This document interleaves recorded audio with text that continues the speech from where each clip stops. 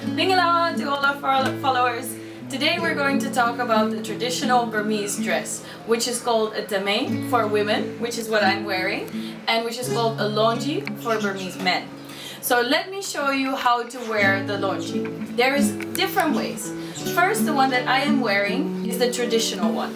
This is actually an open piece of fabric that you put like this. Step one, step inside the longyi and hold it to the side. Pull it tight on your waist. And then you go to step two. Step two, pull the longyi to the other side and tuck it in. Now important is that you make sure this line is straight down.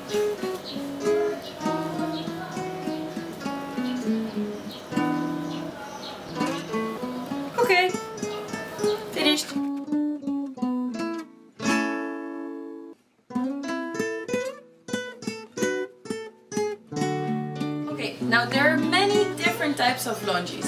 Of course, I find this one a little bit scary because sometimes I'm scared it will fall down. So what I normally wear is this one. This one is a ready-made longyi and it has a zipper on the side. So it's very easy to put on and you don't have to be scared to, that it will drop. Okay, that's not the only way that you can use for a different type of longyi.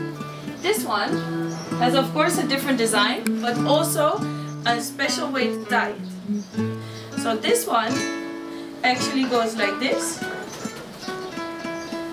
You can step inside and then you tie it like this. So also not so scary that it might fall. Okay. Then you have many different fabrics.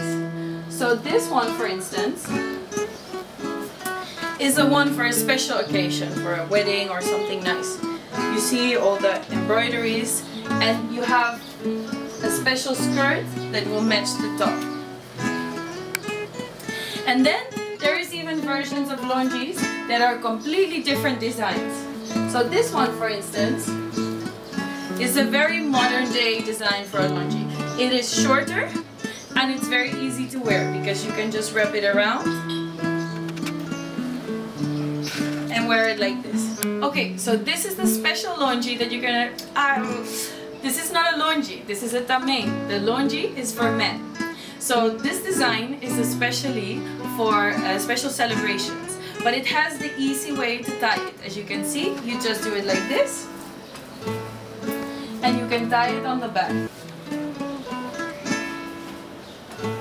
So with this htamein, you don't have to be so worried that it will fall down.